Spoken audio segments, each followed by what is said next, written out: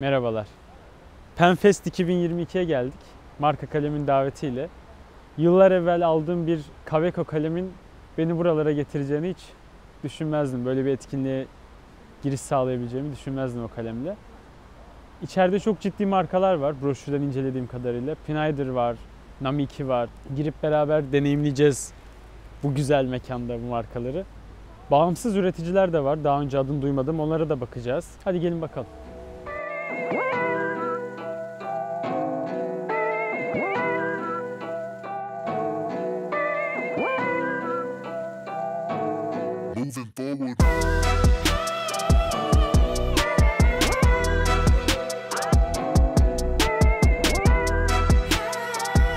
Her sene düzenlenen Penfest etkinliğinde sponsoru marka kalem firması oluyor.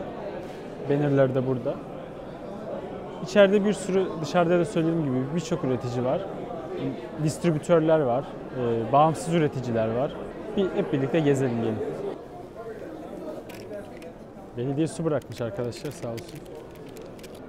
Evet, burada Zeki Karaca kuyumculuk stand açmış. Dolma kalem üreticisiler, hani aksesuar üreticisiler aynı zamanda. Ama gördüğünüz gibi kalemler bir kalemden çok bir mücevher edasında. Yani zaten alanları da bu kendilerine. Yani büyüteçle inceleniyor bu kalemler. İşte hepsinin üzerinde gerçek elmas, zümrütler, işte tamamen altın kullanılmıştır. Hani her şey olduğu gibi gerçek abi. Mont Blanc'in yeri özel. Özel bir oda ayrılmış Mont Blanc'e. Yani Mont Blanc için dünyanın en pahalı değil bakın. En prestijli kalem markası dersem hiç de yanlış bir şey söylemiş olmam.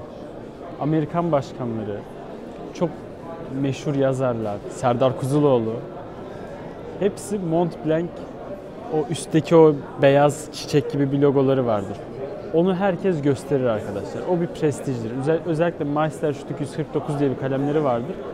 Obama'nın özel kalemidir yani kullandığı imzaları al- attığı, anlaşmaları imzaladığı kalem 149'dur Meisterstück. Şu an giremiyoruz içeri. Ön, gördüğünüz gibi önünde sıra var zaten. Belli bir kapasiteye ulaştığı için güvenlik önlemi olarak almıyorlar. Burada El Casco diye bir marka var. Ben duymadım daha önce açıkçası. Ofis masaüstü gereçleri satıyorlar. Burası Metexa'nın standı. Gördüğünüz gibi defterciler, deftercidir kendileri ve önü dolu. Herkesin bir Metexan defteri olmuştur bence.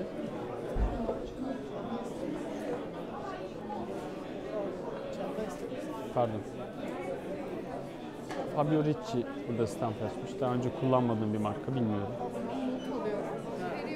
Bir fiyat soralım. Hadi. Buyurun.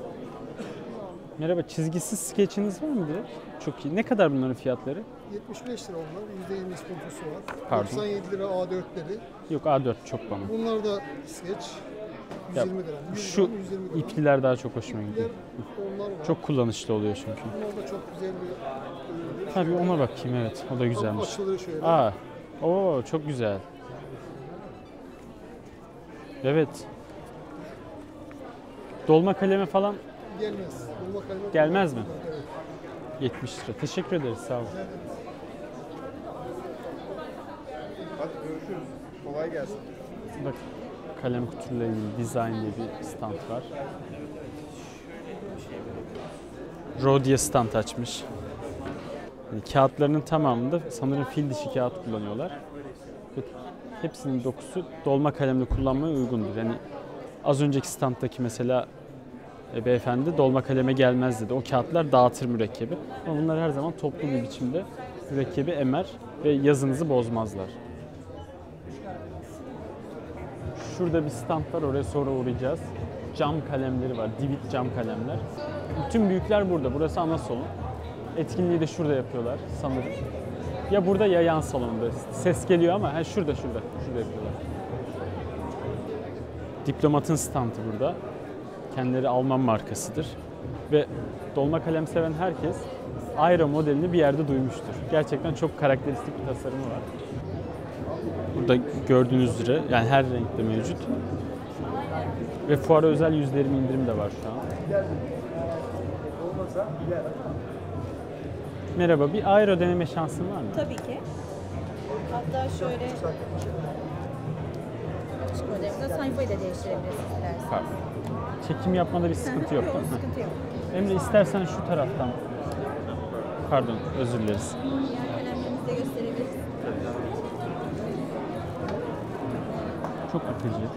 Zaten bunları söyleme bile gerek yok aslında. Bu marka yani asla kaymaz bu yüzeyi. Terlemede de herhangi bir tutuş kaybına neden olmaz. Ucunun bu kadar büyük olması yazımda çok büyük bir kolaylık sağlıyor kişiye. Küçük uçlu kalemlerde bazen bu yatırmak çok zor oluyor kalem ama böyle büyük uçlu kalemlerde ister önden tutun ister geriden tutun sizin eliniz nasıl yazmaya alışkın olursa olsun rahat bir şekilde yazım deneyiminizi sürdürebiliyorsunuz. Hiç kesinlikle tıkanmaz değil mi? Bunlar söyleme bile gerek yok. Zaten çok prestijli bir marka kendisi. Victorinox'un standı burada. Yani Victorinox İsviçre çakısını, military dedikleri İsviçre çakısını dünyaya pazarlayan markadır. Ve her bütçeye, her kullanım biçimine uygun çoklu çakıları vardır. Sailor, Pelikan, Platinum hepsini distribütörlüğünü yapan Çelik Kırtasiye stand açmış. Sailor'ı o iri kalemlerinden hatırlarsınız. Pelikan eee, yine M100'dü yanlış hatırlamıyorsam. Hatır, yanlışsa da beni düzeltin. M100 diye bir M400, M600 diye bir serisi var. O da çok eee, büyük uçlu kalemlerdendir, uzun. Conklin'i açıkçası bilmiyorum. Monteverde'yi de bilmiyorum. Bana şey hatırlattı. Ee, Better Call Saul'daki Mesa Verde Bankası'nı hatırlattı. Platinum'un kendi standı var. Oraya da gideceğiz. Burası çok küçük onun için. Evet. Burada marka kalemin standı burası. Moleskine getirmişler. Ee, Pinayder'ı getirmişler. Zaten etkinin de sponsoru. Şurada etkinlik yapıyorlar. Çekiliş yapıyorlar burada. QR kodla katılıyorsunuz. Bizim kısmet olmadı bize denk gelmedi. Burada Skrix'in Skrix'in standı var. Burada Kaveco ve Cross'u da Schaefer'ı da kendisi distribütörlüğünü yapıyor zaten Skrix.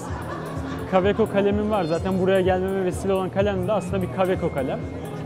Ee, 3-4 sene hatta çok daha öncesinde, 5 sene öncesinde aldığım bir kalemdi. Ve bugün buraya gelmemi sağlayan davetiyeyi o kalem sayesinde aldım. Üyeliğimi öyle başlatmıştım marka kalemle. Kaveco'nun e, kompakt kalemleri çok öne çıkar. Yani büyük kalemlerden ziyade hep cep kalemleri tasarlar Kaveco. Schaefer hiç kullanmadım bilmiyorum. Skrix kendileri Türk markasıdır zaten.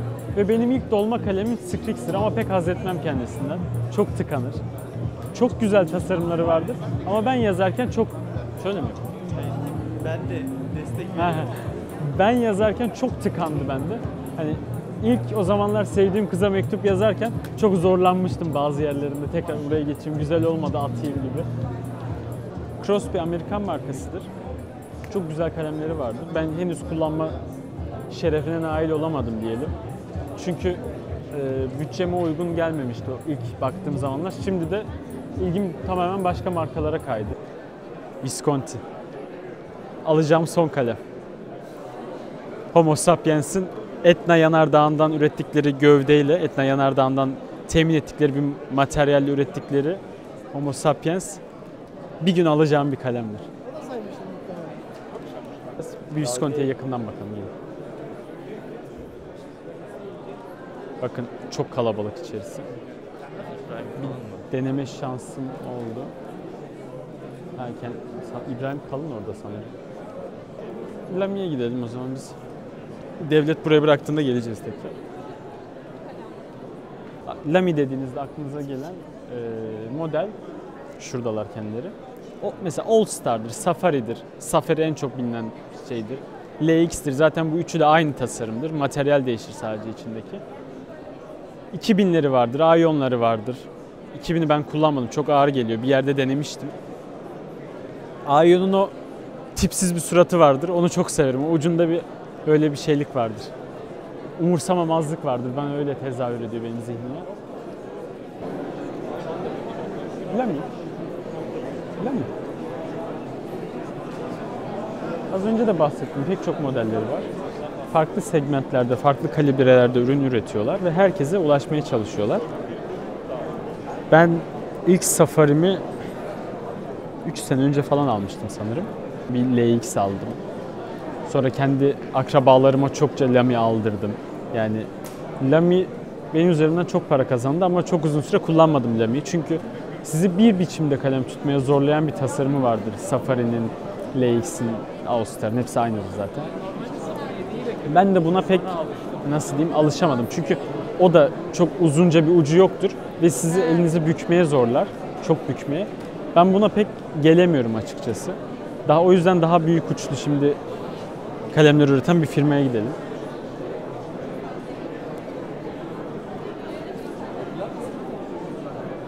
Pardon.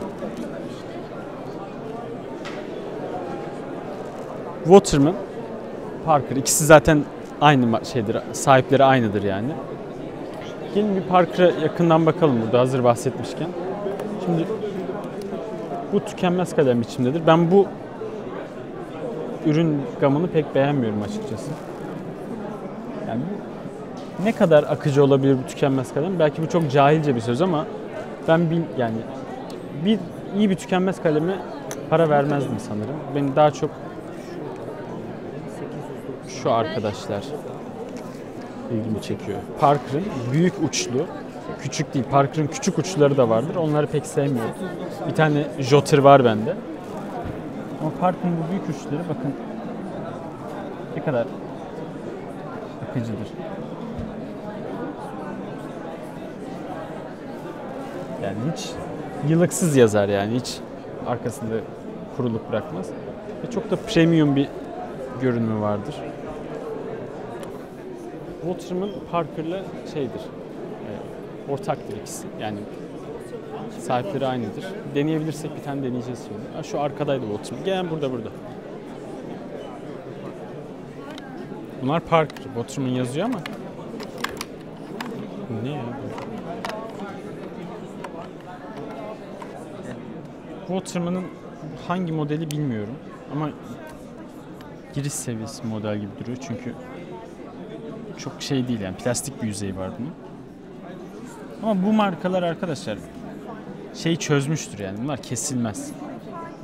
Bu kapiler etkiyi çözmüş markalardır bunlar. Hani şu ince yarıkta bilirsiniz mürekkep durur. Kağıt onu emmeye başladığı anda da aşağı iner. Bu fizik kanunudur zaten. Hiçbir kesinti olmaz bunlarda. Bu tamamen sizin deneyiminize bağlıdır. Bunun hangi markayı tercih etmek isteyeceğiniz sizin nasıl yazdığınıza, nasıl kalemi tuttuğunuza ve ne kadar süre yazacağınız bu da çok önemli. Ne kadar süre yazacaksınız? Buna bağlıdır. Ve bu e, yumuşak metal uçların şöyle bir ayrıcalığı vardır. Daha bütün markalarda bu vardır iyi markalarda. Bu dolma kalem ucu arkadaşlar.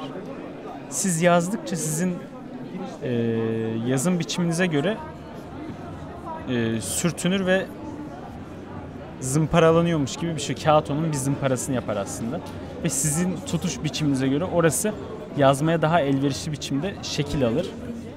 Ve bu yıllanmış kalemlerinizin ilk aldığınız kalemlerden da çok daha rahat olduğunu bu yüzden düşünebilirsiniz. Bu doğal bir şeydir. Ya biraz önce size bahsettiğim Homo sapiens modeli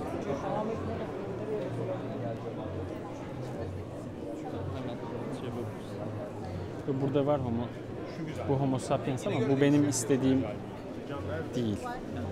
Bu materyali istemiyorum. Ben soracağım şimdi öbürünü. Hep bu aklıma geldi. Merhaba. Merhabalar. Homo sapiens'in bu Etna yanardağından elde Evet edilen. evet oradakiler. Onu deneyebilir miyiz Tabii onu? ki. Ee, onu denemek olarak yani elde tutabilirsiniz ama şey Yazmıyor, yazma- tamam. Ama ya- bu, bu yazıyor ve aynı uç sadece. Tamam. Sadece o İsterseniz- materyal evet, farklı. tabii Bir alabilir miyim elime? Teşekkür ederim. Buyurun buyurun.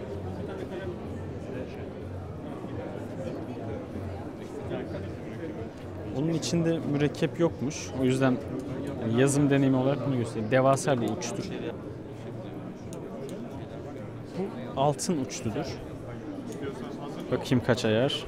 18 ayar altın uçlu. Ee, Bu malzeme Etna yanardağından elde edilen bir malzeme. Etna yanardağındaki kurumuş volkanı kalemin gövdesi olarak tasarlamışlar ve ismine de Homo sapiens demişler. Şu kilit sistemi yine Visconti'ye özeldir. Yani kalemi taktığınızda asla hani açana kadar kesinlikle düştüğünde ya da bir şey olduğunda hiçbir zarar görmez. Zaten bu materyalin bir özelliği de hani bu kalemi şu an burada yapamam tabii ki ama fırlatırsanız bile sert bir yüzeyde çok minimal metal yüzeyler daha çok zarar görür. Bu yüzeye bir zarar vermek çok zordur şu yüzeye. Özel bir materyal. İçinde mürekkep olmadığı için yazamıyorum şu an. Ama buyurun çok teşekkür ederim. Şundan göstereceğim. Bu da aynı şeydir. Sadece materyali farklı. Aynı uç sadece o roz rengi çünkü roz tasarımı. Yani bu farklı bir deneyim arkadaşlar. Bu son kalem olacak kalem bu budur bence yani.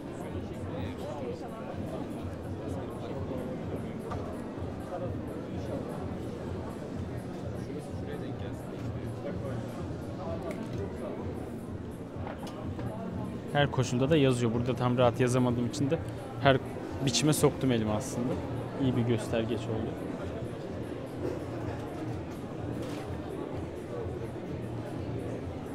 Gelin başka yerlere bakalım. Pilotun standındayız.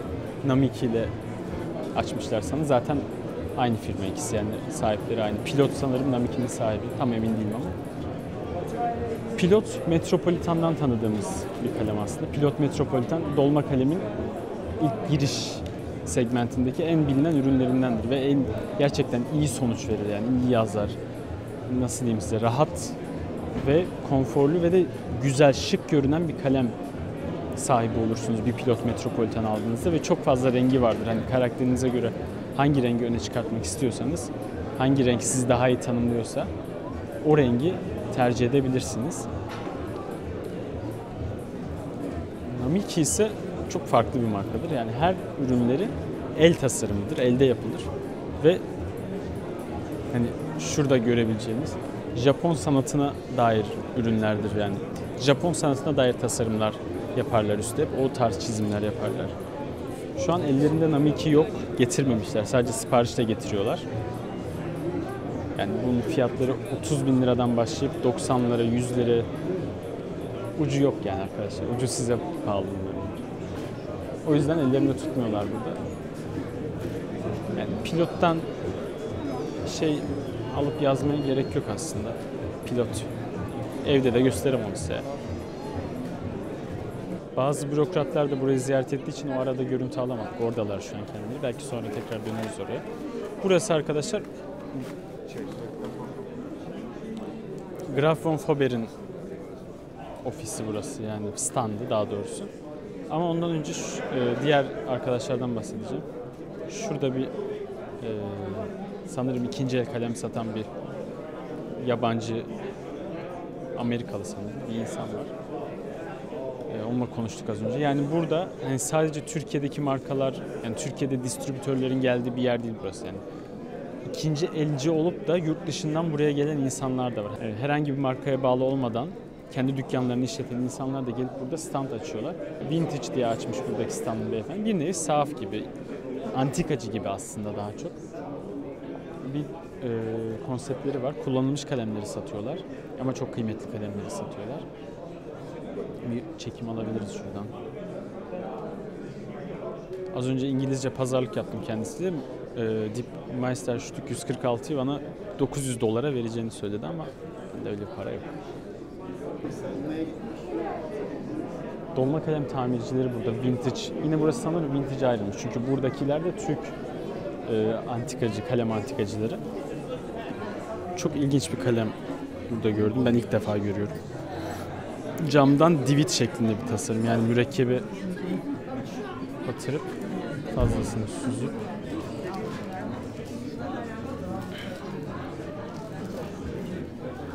yazdığımız çok rahat tutuşu. Yani bir 360 derece bir tutuş sağlıyor. Hani şeyi yok zaten. Çok ilginç gerçekten. Çok hoşuma gitti. Galiba bir tane alacağım bundan. Kalın yazıyor. Hiç kesintisiz. Yani uzun bir süre yazma süresi sağlıyor size. Bakalım ne zaman bitecek bir batırımlık şey.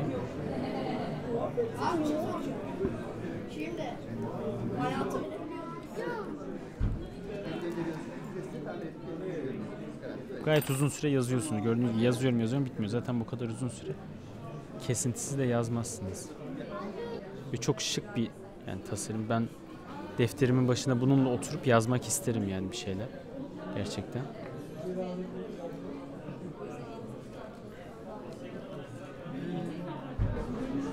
Pardon isminiz? Üveys. Üveys. Bir, bir röportaj yapabilir miyiz? Bir dakikalık inşallah. Bir röportaj kaleminizi anlatsanız bize. YouTube kanalı varmış. Evet. evet. Mikrofonu şöyle size tutayım. Siz Ne anlatmamı istersiniz? Nasıl bu ne yani bu kalem nereden çıktı bu fikir?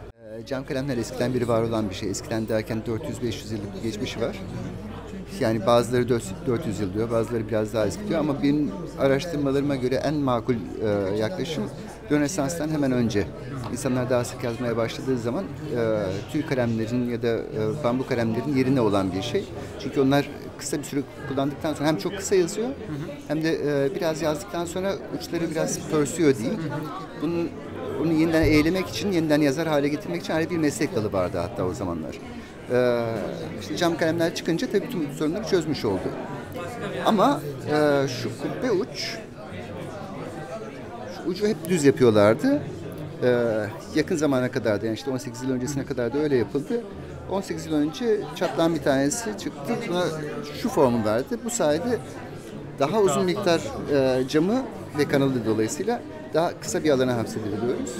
Ee, şurada işte aslında 4-5 santimlik bir kanal uzunluğu var.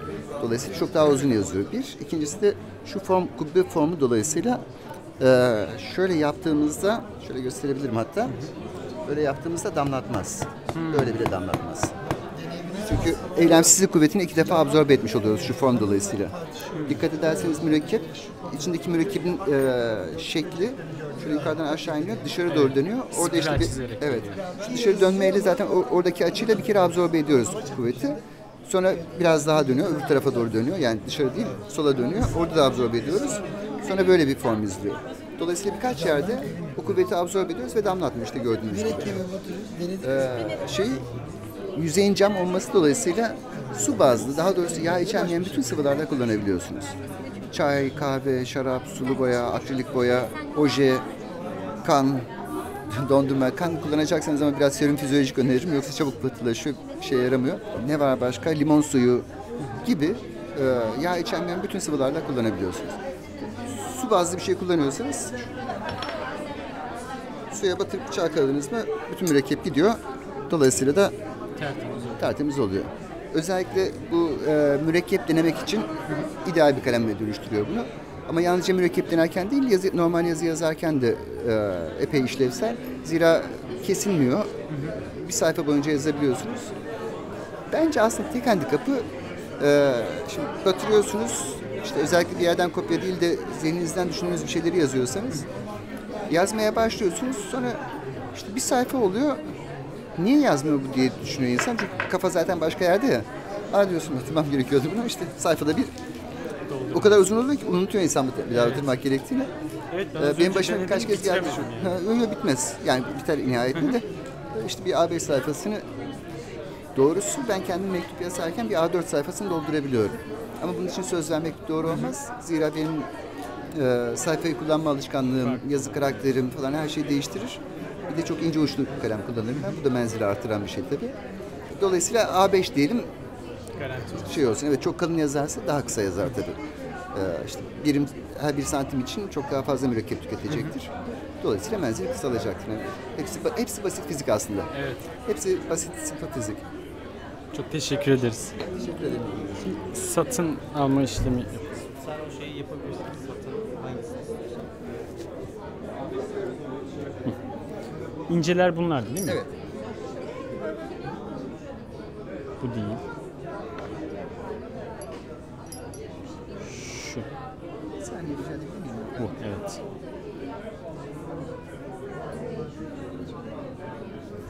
Bu modeli alacağım ben. Daha iyi. Evet. Ee, bu laminin ekstra fininden daha ince. Evet daha inceymiş. Sorarız mesela bunun daha incesi Tamam bu olsun. Garantisinden haberdarsınız. Yok değilim. Ha, ömür boyu garantisi var kaleminizin. Günün birinde herhangi bir sebeple herhangi bir şekilde kırılacak olursa kalan parçaları şimdi içine koyacağım adresi gönderiyorsunuz. Bir açıklama yapmanıza gerek yok. Yalnızca kendi adınız, adresiniz Geri- gönderilecek bir geri göndermek olsun yeterli. Ee, sizin kaleminizin ucu ince olduğu için öyle bir durumda bir de e, kalemin ince uçluydu diye bir not Tamam. yazarsanız iyi olur. Tamam. Ortalama bir şey değil de Tamam. istediğiniz gibi bir şey. Ee, garanti aynı zamanda değişimi de kapsar. Yani günün birinde renginden sıkılırsanız, yani ince, ince, uçlu istedik ama keşke kalın alsaydık falan derseniz durumu bize bildiriyorsunuz. Biz size taleplerinize uygun bir başka kalem daha gönderiyoruz. Size de karar verip bir tanesini gönderiyoruz. Çok teşekkür. Çok harika bir hizmet ya gerçekten. Bir uzantısı olacak ya bu. Evet. Gerçekten inanılmaz bir hizmet. Elinize uygun olan bir şey. Buluncaya kadar bunu istediğiniz kadar yapın. Teşekkür ederiz. Sağ olun.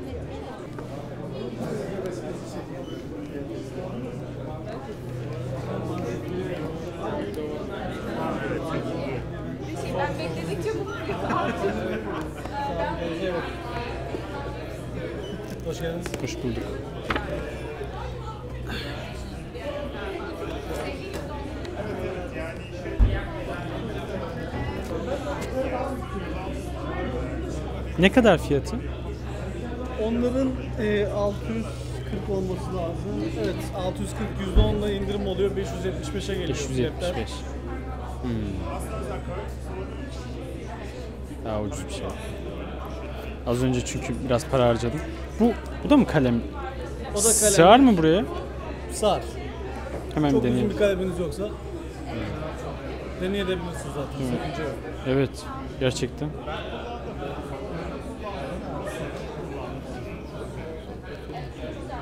Kaç olmuş? 4. Bunlar ne kadar bir de şunlar ne kadar? Bunlar 580 Tamam. etiket fiyatı. Yine %10'da indirim %10. oluyor. 60 lira gibi indirim yapınca 520'ye geliyor. Tamam. Şu küçükler ne kadar? Bunlar 510, bunlar da 460'a geliyor indirimli hali. Teşekkür ederim. Biz teşekkür ederiz.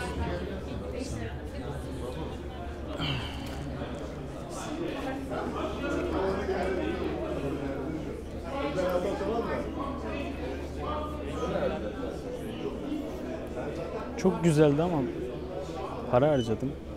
Daha fazla harcamak istemiyorum.